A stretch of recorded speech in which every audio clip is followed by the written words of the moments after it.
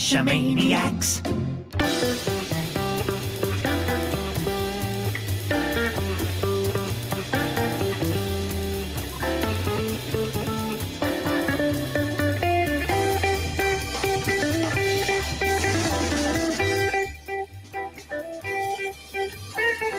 Geo Gearheads. Welcome back to the Geo Gearheads. This is episode 465 of the almost weekly show about geo geocaching and geolocation based games. With me, as usual, is Chris of the Northwest, and I am Daryl W4. Daryl, so good to talk to you again. And talking might be a challenge for you tonight, it seems. It, it certainly is. It it's been another one of those weeks, even though I didn't realize it was. And what really told me that it was was last night we had a, uh uh, project that I'm involved with that I'm not directly responsible for. Well, I guess I am responsible for, but I'm not, you know, a party to the actual like, you know, work of the project. Uh it's 10 p.m. my time was the uh, testing and I'm like, okay, I'm just about 7:30. I'm just so tired. I need to take a nap. I woke up at uh, 4 a.m. to see the chats about the the testing and what failed. Did it work well? Right up until the very last test, everything was working. They found a couple of minor things that were settings changes that they fixed. You know, then this was with one of our, you know, bigger vendors. Mm-hmm. And then it was that very last thing. Everything broke. Oh. But they claim that they found it and they want to do another test next Wednesday. So, what do you think the chances are that I'm going to stay up for that? Pretty good now. No. Oh, okay. Uh, come on, I slept from six. There's from 7:30 p.m. till 4 a.m. Woke up, read the chats, and went right back to sleep until six o'clock. and I still didn't feel like I got enough sleep. So it's been one of those weeks again. Wow. You you might be a little tired. Yeah. You yeah, I need another four day weekend. Okay. I need one. Well, that's what vacations are for. What are vacations?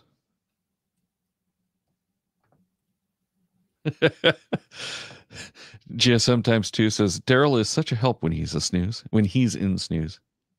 In snooze mode. Hey, isn't that what everyone wants? Is their boss to be asleep? Yeah. All righty. Some days they're wishing. Some days. Yeah. Hey, speaking of a couple of days, A couple of days? Yeah. So, sometime between now and when you get your next sleep, there's going to be two more souvenirs available. I don't think it quite works that way, but Oh, I appreciate the uh, attempt at a segue. Oh, hey, um Geocaching HQ is releasing two year end, a, a year end and a year beginning souvenir as they've done in the last several years. Um, so the last of 2020 and the first of 2021 souvenirs. Now, they're doing something a little different, probably, you know, based on this whole COVID thing. Have you heard of this? I think I've heard of it. Isn't it some kind of beer? Yeah, yes, yes. Okay. Yeah, the corona beer virus. Right. Oh, oh. well, gee, I should be safe because I stay out of bars. Oh, there, there you go. Yeah, Yeah. then that's really pretty much what they're finding out. You stay out of bars, you're safe. Unfortunately, that's all too true.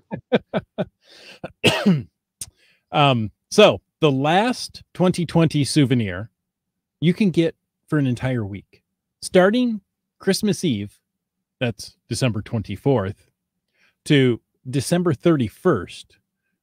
You'll be able to find any cache type, See, you'll be able to get this. I read those dates differently. I read it uh, geocaching Eve through Hmm. uh, New Year's Eve. Yeah, that you could do that. Okay. Yeah. So I figured, you know, this is for the uh, folks who are going out geocaching so that they can get the uh, souvenir and then party like it's, uh, you know, nowhere to party on uh, New Year's Eve. So in the past, you had just December 31st to get that, and December 1st to get the first of 2020. Ooh. Oh, We'll we'll check that out in a minute. okay. So the first of 2021, you have January 1st through the 8th to go out and find any type. And that includes traditional, multi caches, virtual caches, letterbox hybrids, event caches. Yeah, like you're going to go to one of those. Uh, mystery caches, webcam caches, earth caches, Wherigo caches. And this year they've added adventure labs.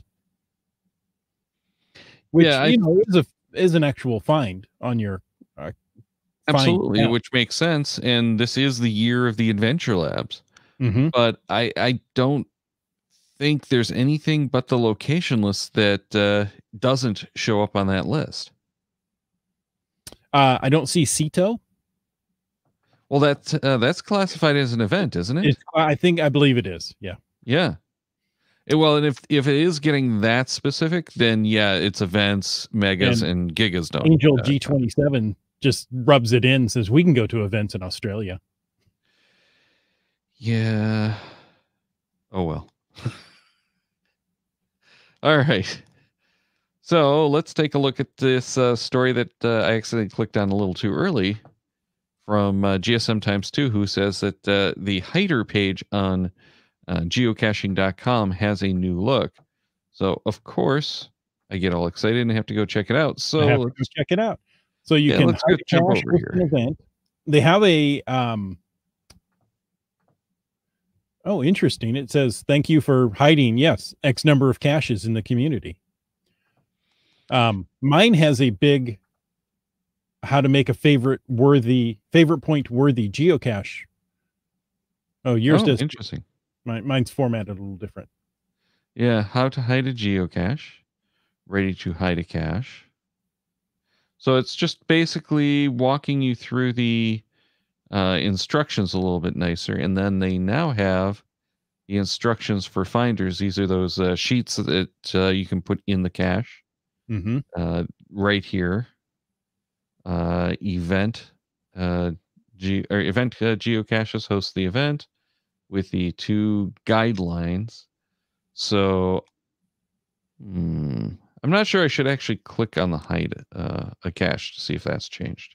I I would assume that's just gonna take you. No, it doesn't. Um, No, it- hey, you have the same one I do. I thought it would take you a little farther down the page to the hide a cache button. Continue anyway. Yep. Locations. Yeah. You already know your hiding spot. So yeah, it's very nice. I like the enhancements. Uh, definitely going to be a lot easier for the uh, people uh, just getting started Mm. with hiding in cache. So hopefully we'll see a lot of new uh, hides coming soon. Very cool. Yeah, and GSM Times 2 says from that point, it doesn't look like there are uh, uh, any changes, uh, which is kind of what I expected. This is a cosmetic change that's going to uh, provide better guidance for people who are hiding for the first time. That's to me what it looks like.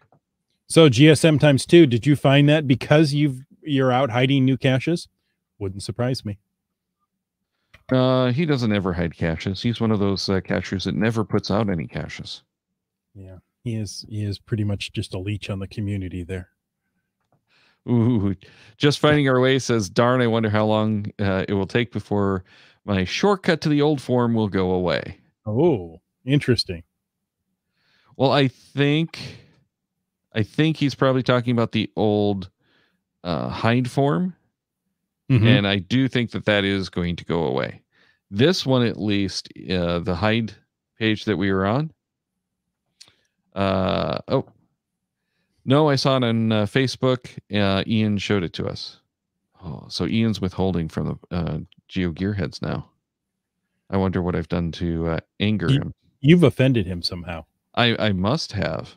hmm Wow. Ian, I'm I'm sorry for whatever I might have done. Let me know. So um but no, I I I know that that is going to go away at some point, but I don't know when. I you know I never heard a, a date. Just that it's it was temporarily there, and it will go away. Okay. Oh, interesting. It it's I just went back to the page to uh, make sure to grab the uh, URL for the uh, show Mhm. notes, and it jumps back and forth between two different URLs for a moment. Hmm.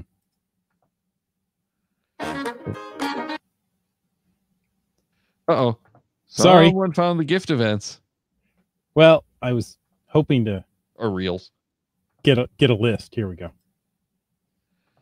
Uh, yes. So that is our next uh, subject is that the um, um, GIF uh, reels are available on geocaching or uh, YouTube rather. And the interesting thing is that they went and did like a highlight, the best of. Best of, yes. Yeah. So, And can you imagine it's been seven years, Daryl, since the first Gajif? you know, I couldn't until I watched that. Mm-hmm. Renee and I had that on in the background as we were working on other things on uh, uh, Thanksgiving Day. And she didn't recognize the first several years because you know she's only been caching for about Okay. Five or six years, something like that. Mm-hmm. So it was uh um nice background though the problem that I have with it is that the you know with their uh, compilation one is they only show you snippets of the runners up. Mm-hmm. The winners get the full thing in there, but you know they only give you the snippets. But it was an hour long video, so it's it, uh, actually I think it's over an hour. Uh, do you have that uh, handy? It is oh, it's an hour, 50 minutes. So yeah, Two hours. two hours. So it is a long, long video, but especially for those of us who, you know, the the first year you had to have been there, Mm-hmm. which was uh, a little bit of a problem. Um, but they did eventually release the uh, video. Of, originally, it was released on Vimeo, I think. Mm-hmm. which is how I ended up uh, Mhm. catching it. And then uh, was it that next year in uh, uh, 2014 that they actually uh, started doing the GIF events? Uh, I, yes, yes. It wasn't the first year. It was the second because it got Okay. rained out. Yeah, yeah. So it's the second year that I actually went to my first GIF event, and I, I think I've hit a GIF event every year since, Mm-hmm. and they're always a blast. Yes. So I will definitely do it anytime they have them again, because it is so much fun. Exactly. Um, And ironically, they didn't plan on doing one this year before any of the uh, pandemic stuff hit because they were going to take the year off for the uh, um, celebration. And I think the plan was they were going to do a best of GIF reel at the uh, event. GSM times two said he hosted a Zoom event to watch it. About 24 people watched it together. Nice. That would be a lot of fun. Especially Um, because it's, you know, you've already seen these. So now Right. you get to go back and revisit and go, oh, I- I, remember I that. don't see that geocaching is free. No, I don't think that actually made it into the finalists. It was one of the runners up. It's the one I remember the most, though. You know, there were quite a few that I remember that weren't in here. Okay. Some of them made it into the runners up where you caught the little uh, uh, sections, or, you Mhm. know, little blurbs, like the uh, geocaching ballerina. Mm, hmm Um, GSM times two also says the first couple of years were not publicly available. So, oh, geocaching is free wasn't even a runner up. Yeah, And that's kind of what it's afraid of. also watched it on a Zoom gathering. Nice. That would be a lot of fun. I really would. Yeah. So I, I'm really looking forward to uh, another uh, GIF event. I Mhm. don't know what they're going to do for 2021, but I kind of hope that they do a geo uh, a GIF event for uh, Mhm. 2021. I, uh, it's just going to be kind of interesting because it's supposed to have been the year that they were taking off if they do it. Well, they took off a year. Yeah. But I think people are ready for another one. You know, especially this year, I think would have uh, been a lot more uh, interesting if they had taken it uh, uh, to uh, YouTube and done some of these virtual events. Mm-hmm. All right, let's uh, jump to this topic from uh, uh, Angel. I'm not sure what the numbers are. Angel 16? G twenty seven. Oh, G27. Okay. This is actually kind of an interesting one I hadn't heard of. This is great. Are you going to read it or should I? Oh, go ahead and read it. Uh, got the, Enigma machine found on the bottom of the ocean. An Enigma encryption device um, used by Nazi Germany in World War II was found at the bo- bottom of the ocean. And there's a link to the ABC Australia News. And it's trying to get to. tomorrow. Well, because it's the future in Australia. Okay. Wait, so in the future they find something from the past. Well, no, they've they've already found it, but they won't tell us about it until tomorrow because they don't want anyone to like you know jump the claim. Oh, okay, gotcha. That that makes all the sense in the world. What doesn't make sense is that uh, Streamyard won't let me copy or click Nope. on this URL, so I have to go and type it in manually. That's www.abc.net.au slash news slash 2020 12 04 slash enigma dash machine dash cipher dash machine dash found dash Nazi dash Germany dash world dash war dash two slash one two nine five zero three two eight. Now I know if you're driving, you got that. You just just put me on uh, Siri or Google and boom, you'd be at that site. Really, it works that well, huh? Oh yeah. I don't know. Should tested that, especially because I'm still typing it in. Are you kidding? I read faster than you typed. Well, part of the problem is I have the keyboard way too far away from me, so that it discourages me from typing.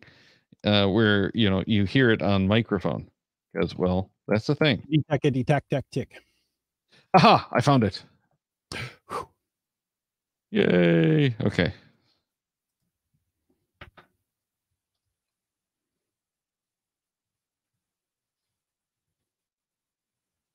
So that link will be in the show notes, but uh? It was found in the Baltic Sea, and the uh, article says German divers searching the Baltic Sea for discarded fishing nets have stumbled up, stumbled upon a rare Enigma cipher machine used by the Nazi military during the World War II, which they believe was thrown overboard from a scuttled submarine. Interesting. Uh, blah blah blah. The It's enigma. believed to have been destroyed before the Germans surren- surrendered in 1945. That makes sense. Mhm. Now, the Enigma machines uh, looked like typewriters uh, with a bunch of wheels, and they were encryption decryption machines, which were at the heart of uh, uh, the war. And that was one of the reasons they felt that uh, Germany was doing so well, is because they couldn't crack the codes Exactly. There were a lot of attempts to get the uh, Enigma machines, machines, but you had to be very secretive about it so that the Germans didn't know that it was uh, uh, captured. They had to think that it was lost because they could change the codes and then you'd be SOL. Right. But yeah, I'm not seeing the number of Enigma machines that are actually known to still exist, but I think it's like five or six. It's not many. Um, and the ones that are out there still work. They're, Yeah, they were- amazingly built. Yeah, they were really well built, heavy duty machines Mhm. built for uh, um, you know withstanding uh, submarine conditions. Oh, they were they were terribly more difficult than Route 13. you know, somewhat more difficult than Rot 13. but there are a number of the uh, movies and uh, stuff like that um, focusing on the uh, uh, Enigma machines and how Mm. uh, efforts to capture them. Uh, U five seven one is one that comes to mind. That one I watched over and over again. Mm-hmm. The Enigma machines were no match for Alan Turing, says the Pizza Ninja. Uh, And White Coaster says it's been a while since there's been an update for them. well, and that's the beautiful thing. You you only need the security updates. Mm-hmm. You don't have to worry about the patches for stability or new hardware. No, the there is no operating system hardware. just kept going. Yeah. Ironclad, some would say. And you don't have to worry about the random reboots in the middle of your show. Oh, good point. So the next Geo Gearheads will have an Enigma machine encrypting. So, you know, if you if you want to, go get your own Enigma machine. I uh instead of typing all that long address in, Daryl, I just typed Enigma machine found. And uh when I typed found, it started it started with Enigma machine for sale. Like, ooh, are there? Well, there are some uh, cl- uh, clones, I believe, which would still be an impressive uh, uh, toy to have. And can you imagine uh, uh, trying to do a cache based on the Enigma machine? Yes. Um, you can get an Arduino based Enigma replica for a thousand dollars. Wow, that's pretty intense. See, I'm just thinking of a uh, mechanical machine. You know, I think they had lights on them too, so it did require power. I think. Okay, so no, it, it did not. In 2019, um, there was one for sale, one of 250 that were thought to exist, and Oh. it was for sale for an estimated one hundred thousand dollars. All its metal parts had been restored. Wow. But it would be pretty cool to uh, see one of those in person and actually working. I, you know, I've seen some of the replicas. I believe. Mm-hmm. I don't think I've seen any actual Enigma machines because I don't think people would actually put them on display if they had them. So they're just reproductions. But There yeah, we it was the most valuable thing on a U-boat. Oh yes. The sailors don't mean anything. Nothing else meant anything. It was all about uh, the Enigma machine. See, that I don't think is one of the later ones that they were actually using. And I apologize for the people watching or listening on the uh, the audio stream because you can't really see this, but it's a very pretty wooden box with a like stenographer keyboard Mm-hmm. and a bunch of wheels and then a bunch of other things that I'm not sure what they are up top. But I, in the Yeah, movies, it looks like they were, or they looked like they were lights. Hmm. It looks to me like those discs up top actually fit the keys down below if it were closed. Yes. Yeah, but those discs are interchangeable, and that's how they would change the codes. Mhm. And the- yeah, the different- three discs up top or the four discs up top are where all the work happened. Right. And it's basically different gearing that, you know, you hit the different uh, things and they would do, you know, they would uh, align to different characters. Mm-hmm. So it was a very, very impressive uh, technology. Is it somewhat ironic? The man in the picture is wearing a, a Huawei um, Lanyard? lanyard. you know, since they probably stole the information there because you know Huawei does that. Well, at least allegedly. We can't prove it yet. Okay. but you know it's gonna anyway. Online uh uh online machines are a bit cheaper for puzzle solving. Yes, they are, and thank goodness for them. well and realistically something like the enigma machine would be pretty much useless at this point. It could be cracked by your phone probably Mhm. in a matter of uh, weeks You know, Pizza Ninja says it's estimated that with Turing and his team cracking the Enigma code, they were able to end the war years earlier than it would have been possible otherwise. Yeah, because with that we could know the movements of the U-boats, the navies, the soldiers, and uh, yeah, it made a huge difference. And the Germans did not know we had cracked the code. no well and that was key to it hmm you had to make sure that you didn't let on that uh, you knew people were able to crack the codes and they still did a lot of the uh, misinformation encoded so it was a hard thing to figure out which uh, Mhm. were actual messages and which were not now the germans were so confident in the enigma machine they didn't do a whole lot of it Right. However, the Americans, the British, and pretty much all of the Allied forces knew that the uh, Germans were listening to everything they said. And thus, wind talkers. Well, and the one that I liked the best was uh, um, Operation Mincemeat. Oh, mincemeat was great. That was just amazing. Yeah. Just Should the amount of effort. Yeah.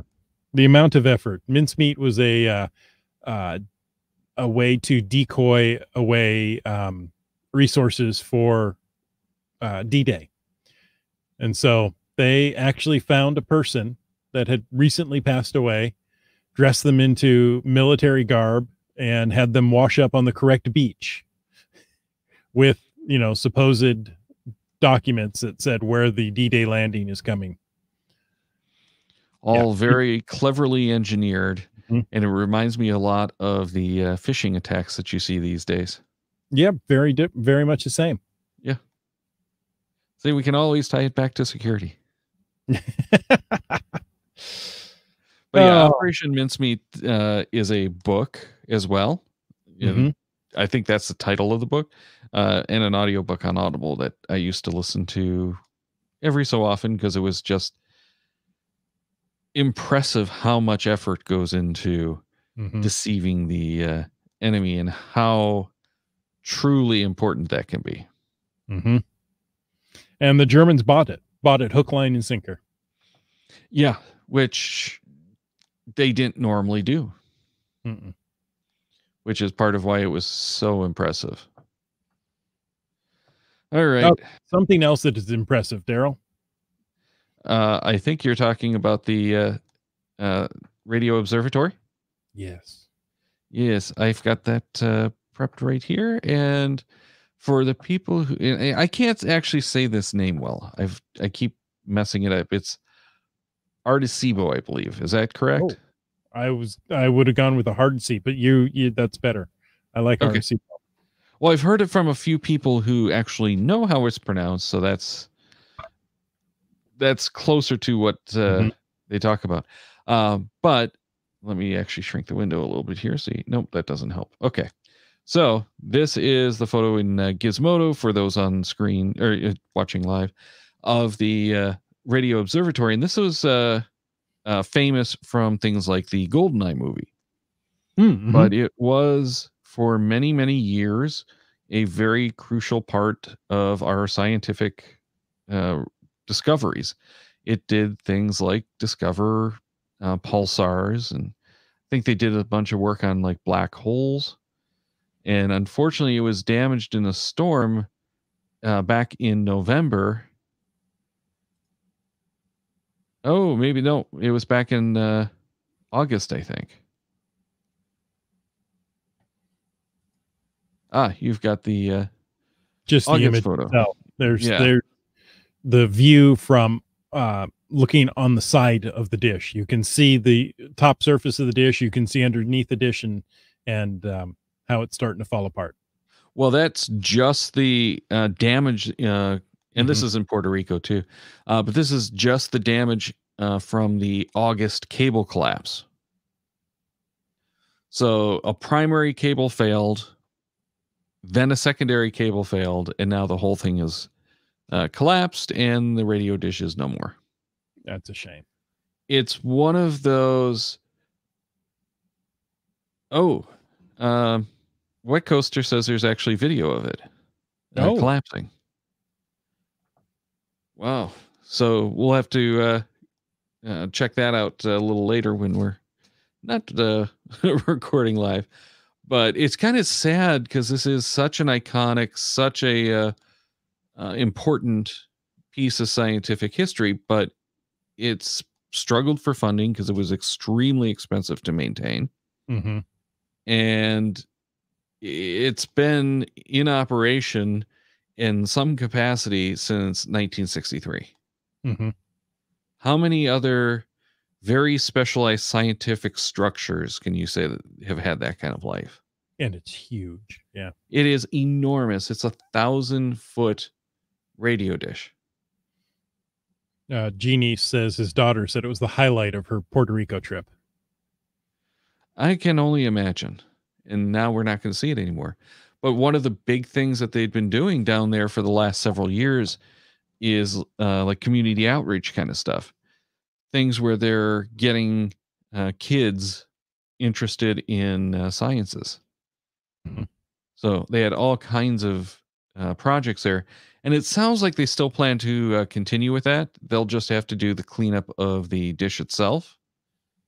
And then you know make it basically safe but they did lose one of the buildings apparently that they use for those outreach programs in the collapse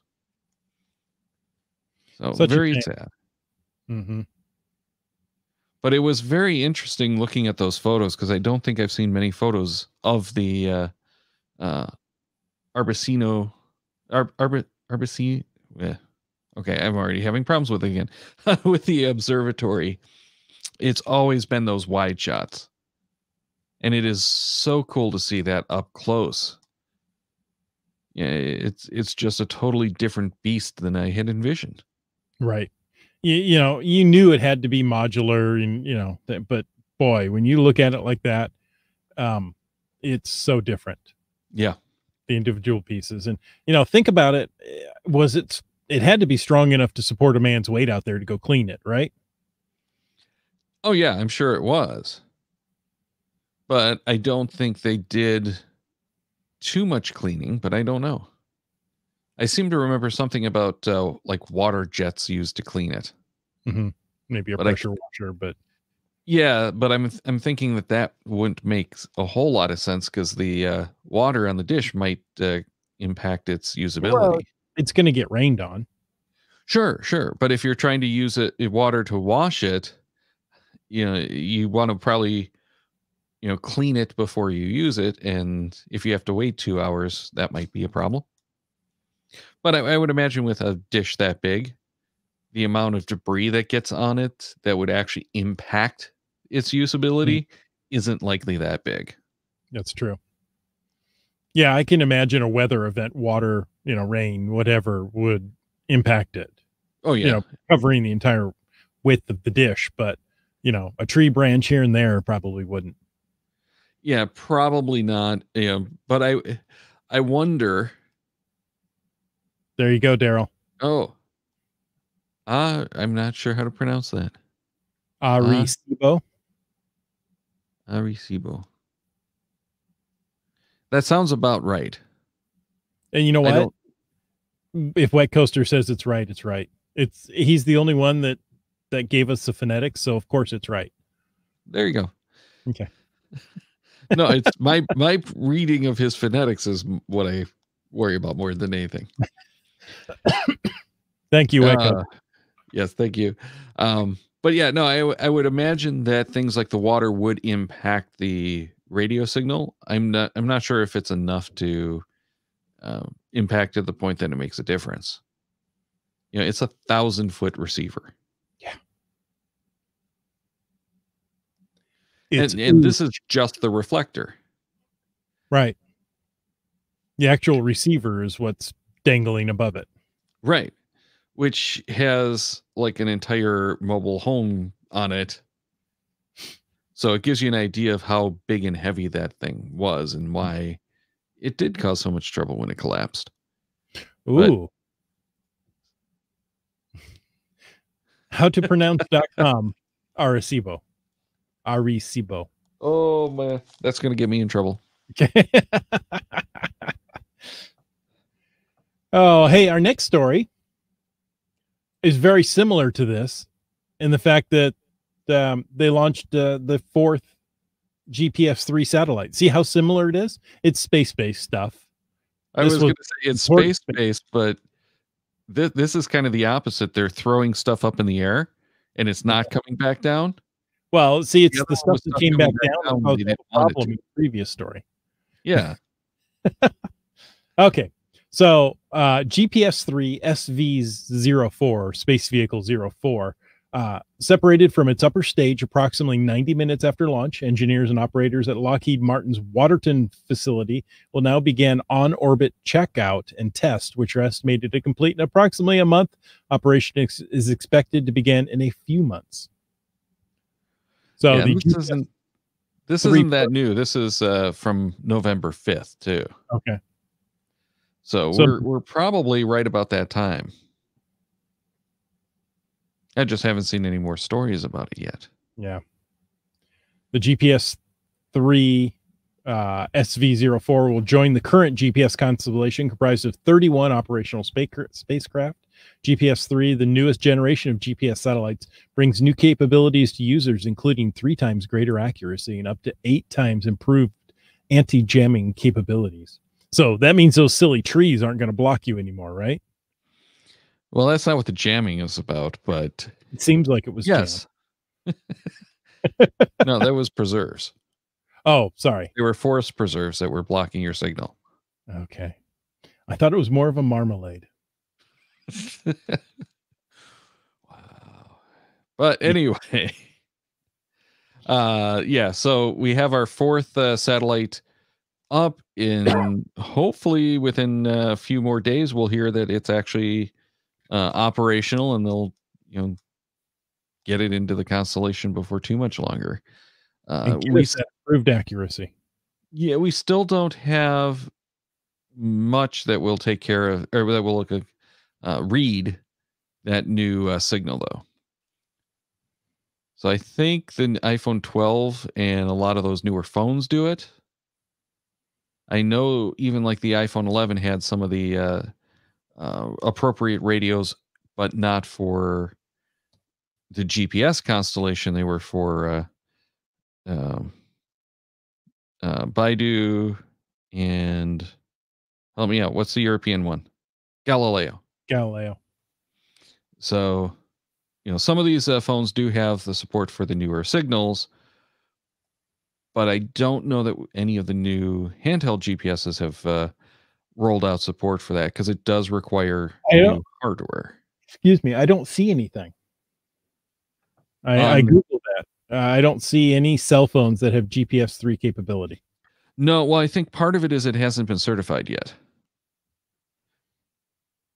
So I think it has the capability that can be turned on in software, is uh, what they were saying, uh, you know, about a year ago. Okay. So we will find out what it is, but at this point, no one's actually going to be able to use it. It's up there, it works. It's going to work like a normal GPSR. You just can't buy the hardware right now that is currently working. And it sounds from what they were talking about, uh, uh, I think it was actually earlier this year, beginning of the year.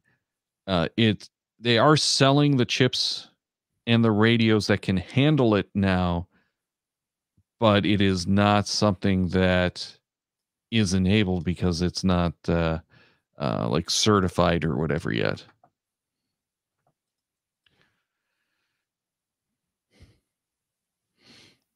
Thank you, thank you, Gary.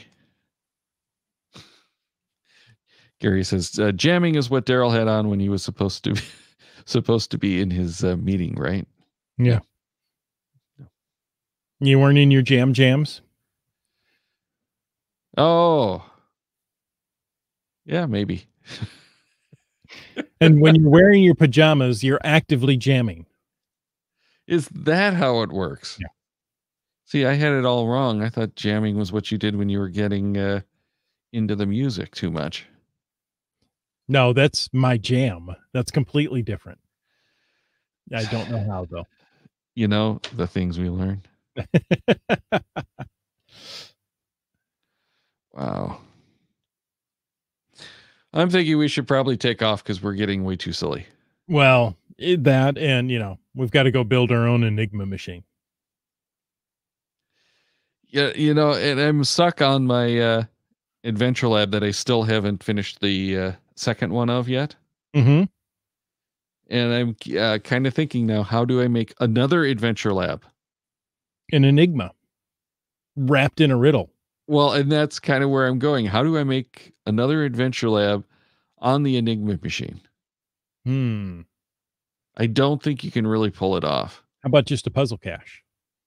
Yeah, yeah, you get into a puzzle cache and that would be cool. Uh, Pizza Ninja. See, I was trying not to go there. Raspberry jam? There's only one man that would use raspberry jam. Lone Star. All right. Our radar's been jammed, sir. I can't do the uh the the mouth sounds like uh, I can't remember his name now. Oh, I, w- I want to call him High Top, but I think that was his uh, character name in uh, Police Academy. If uh, Anyway, if you if you could pull it off, that would be cool. the jam. Yeah. No, the Adventure Lab. Mm. And of It'd course, easier to pull the jam off. one who said that, but who was the radar operator, the guy in the 80s that could do the incredible sounds all with his mouth. Anyway, yeah, High, Hightower, I think was his name on. Uh, no, that no, no, no, that was the other guy. Police Academy. Yeah, he was. Yeah, yeah. Well, you, the the guy that you're talking about, I think, was in Police Academy as well. He was. He was. And I'm trying to remember his character name, and I kept thinking Hightower, but no, that was the um, taller guy, the basketball player. That I Yeah, also that can't think of his name. huge guy that ripped out the front seats of the car so he could sit in the back so he had enough room. Yeah. Yeah. Hey, folks, until you can remember that name, Michael Winslow. That was it. Pizza Ninja wins. Thank you, our research department to the rescue. Hey, folks, and Pizza Ninja, thank you so much. Check out the Cacheamaniacs website at cacheamaniacs.com for more on the Geo Gearheads, including show notes for this and all our episodes. We love hearing from our listeners, so leave us feedback by emailing geogearheads at cacheamaniacs.com or through the many channels of social media. Your support helps keep the Cacheamaniac shows coming. Please consider becoming a patron through the link on our website to support the Cacheamaniac shows. Geo Gearheads is produced by Chris Umfenauer and Daryl Wattenberg. The show's copyright 2020 by Daryl Wattenberg. All rights reserved.